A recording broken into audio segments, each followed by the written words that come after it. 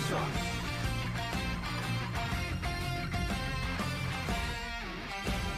あそれそれそれそれ。俺の名は埼玉。この世にはびこる悪を倒すため趣味でヒーローをやっているものだ。毎日欠かさず日々鍛錬エアコン禁止は答えたがついに手に入れたこの拳。圧倒的力忘れちゃならぬはゴミ出しスーパーの特売日安い安い安い安い。昆布の効果で缶に入るワンタン。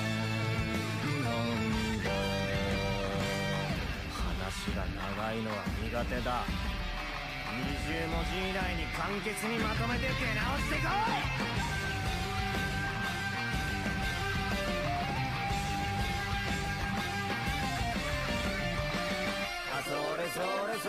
一撃必殺ワンパンチワンパン温度踊れや歌えや